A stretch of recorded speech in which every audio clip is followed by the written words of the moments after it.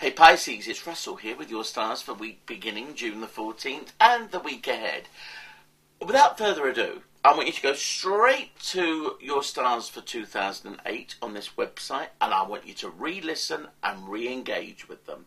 Because what occurs today is the backflip by Pluto into your house of career and ambitions, and it means the next six months, right up until the new year, is going to be transforming in this area.